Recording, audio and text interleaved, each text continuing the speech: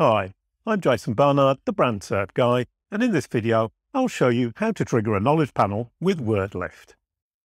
Now, who wouldn't want to curate, control, and enhance their presence on search with a knowledge panel? How do you get a knowledge panel? That's the big question. Getting a knowledge panel on Google is not dependent on notoriety or popularity of a brand or a person. It depends on data. Google takes the information it finds on the web about a brand or a person and it tries to put it all together. The more accurate and consistent the data, the easier it will be for Google to figure out how to put the pieces together and create a perfect knowledge panel. How can you set up WordLift to trigger a knowledge panel? You can do that following this three-step process. Number one, identify the entity home. This is what the knowledge panel for my friend Matteo looks like. To trigger this kind of knowledge panel, Google is looking for an authoritative trusted source to use as a reference point for facts about the brand or the person in this case. We call this an entity home. It's slightly counterintuitive, but Google is looking for an entity home that is owned by the entity itself. It's looking for a clear explanation about you from you. Why? Because it can then compare your representation to the others it finds around the web. Google calls this reconciliation. The entity home can be the home page of your website or your About Us page. The About Us page is a better choice for several reasons that I won't go into here, but the home page is okay. Whichever you choose, it's up to you to optimize your entity home. So make life easy for yourself and be sure that the entity home you choose is the one that is linked to the social profiles of the brand or the person. This facilitates your work and also helps Google with understanding and reconciliation. Now let's go back to the SERP. As you can see, Google is showing a short bio and deciding to highlight certain words in bold. How does Google know what description to feature? It identifies the most representative description it can find on the web from a trusted authoritative source. Ideally, it would choose to use the description from your entity home. So the first key tip for your entity home is to write a description that clearly explains who you are, what you do, and which audience you serve. If you look at Matteo's entity home, you can see the exact same short bio we see on his knowledge panel, minus the highlights. That's what you should be looking to achieve for your entity. The second key tip is to add schema.org markup to the entity home. This is helpful because it presents key information in a machine-readable format that is Google's native language. If you're talking about a brand, you'll use the schema type organization. This will contain factual information about the company, such as founding date, the address, and so on that will help Google to understand which company the page is talking about. If you're talking about a person, you'll use the schema type person. This will contain information about the person, such as birth date, birthplace, honorific suffix, and so on that will help Google understand which person the page is talking about. So how do you add that schema.org structured data to your entity home? It's easy if you've got WordLift. Log into your WordPress dashboard. The part of the admin that we're looking for is the Pages section. Get to the page you want to edit. In this case, it will be the Bio page, but it could also be the Home or the About page. With WordLift, all the structured data connected to your content is easily accessible. Here we go. The first thing you'll see is your content and the WordLift content classification pane that loads the entity suggestions. But now we want to scroll down and find a specific feature. Let's look for the Entity Types pane that is added by WordLift. Once you find that pane, take a look at what entity type has been selected. In this case, it is entity type Person. After saving, you can scroll down to the bottom of the content. Now this might take a while for a long page like this bio, but at the bottom of the content, you'll see custom fields where you need to add information about the person you're talking about. Complete the custom fields with the required information. Knows. Here you can add people the person knows and has a close relationship with. Matteo has added Andrea Volpini and myself. Birth date. WordLift will help you insert the date in the right format. Birthplace. All the birth information is very useful to help Google distinguish you from other people with the same name. Affiliation.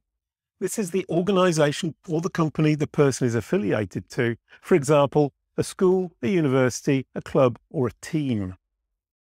Email. This can be helpful for Google to uniquely identify you. Websites. Here you can add links to web pages that are 80% or more about the person, including Wikidata, Wikipedia, Crunchbase, IMDb, and other profile pages, including social media profile pages like Twitter, Facebook, LinkedIn, and YouTube. Then you can update the page and you've published all of this information in the form of structured data that Google really loves. Remember that this information in the form of schema structured data is invisible to people who visit the web page. It's included in the code of the web page so that Google and other search engines can read it. Let's see what my friend Matteo did and what his knowledge panel looks like.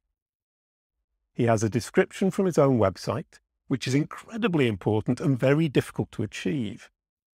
Then he also has some information about his personal life, his birth date, his family. The structured data WordLift provides helps here. And then we see Matteo's social profiles. It's incredibly important that Google gets these right, and it's up to you to ensure that it does. Linking to the correct social profiles from your entity home is vital. Linking back from those social profiles to the entity home is also vital. Going back to the WordPress backend, we can now have a look at an About page where we provide Google with the schema.org structured markup it needs to trigger a knowledge panel. Let's check the entity types pane again. This time, we want to select a different schema type, the entity type organization.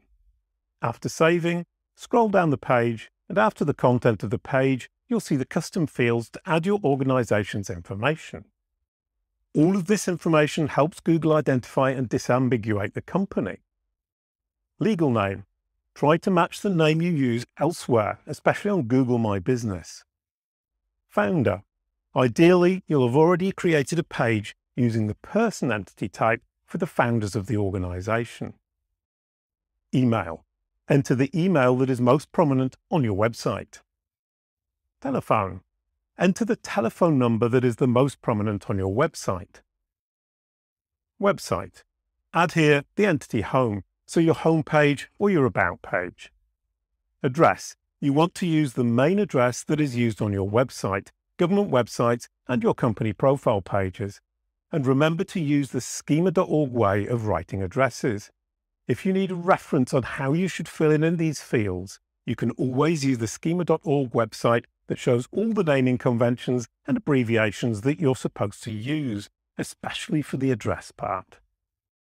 And there you go. This is your complete organization markup that is associated with your page, your site, and your domain. It tells Google what you want to see in your knowledge panel.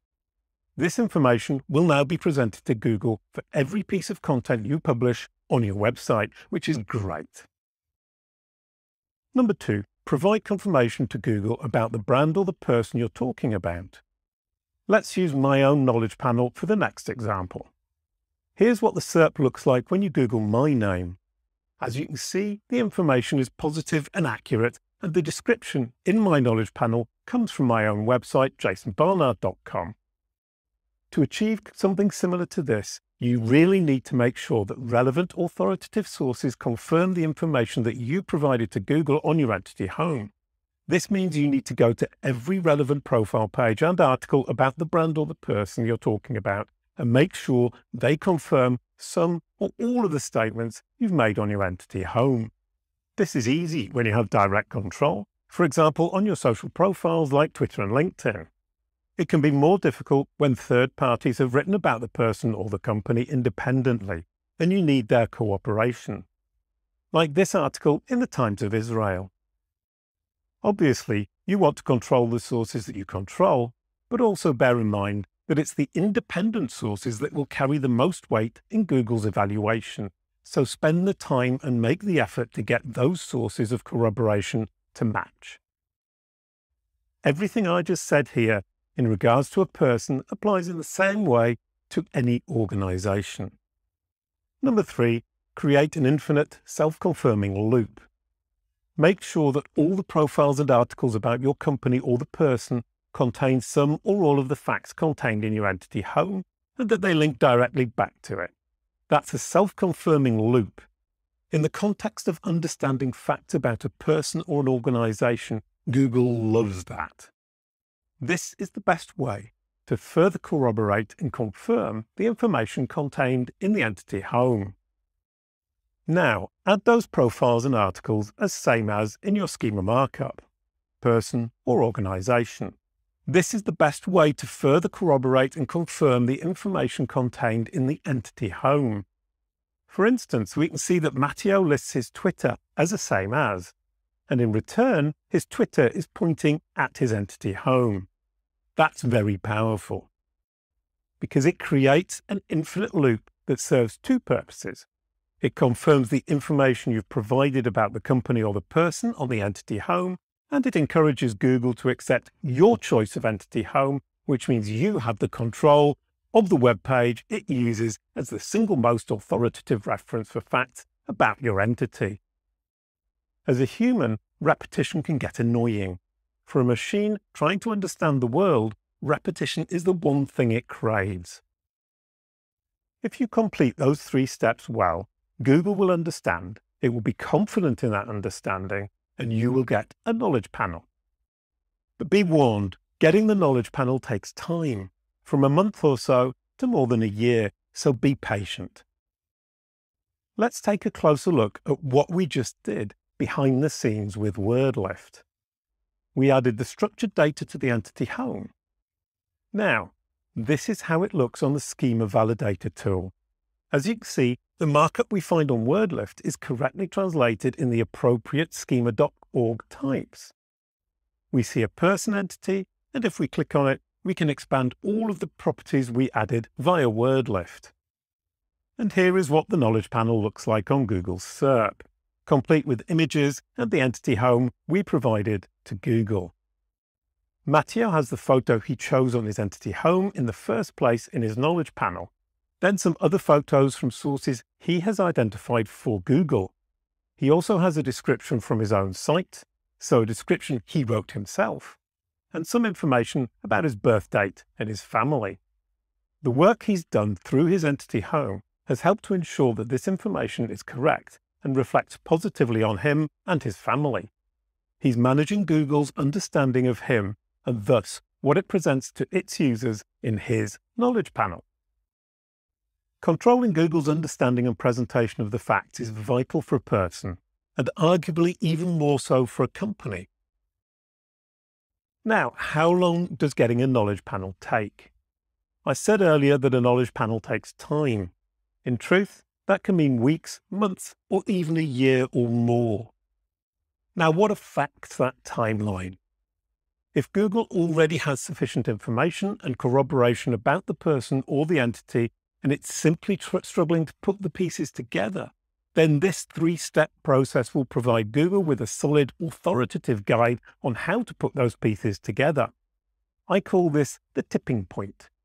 You confirm what Google has already understood and simply reassure it. In this case, your knowledge panel will trigger quickly, probably in three to four weeks. If, on the other hand, the information around the web about the brand or the person was contradictory or references in important sources were missing or of poor quality, then even when you get all those three steps right, you can expect it to take about three months for Google to put the pieces together and give you your knowledge panel. Thank you for watching.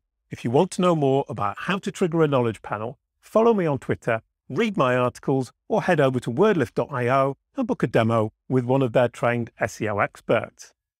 Thank you for watching and I'll see you soon.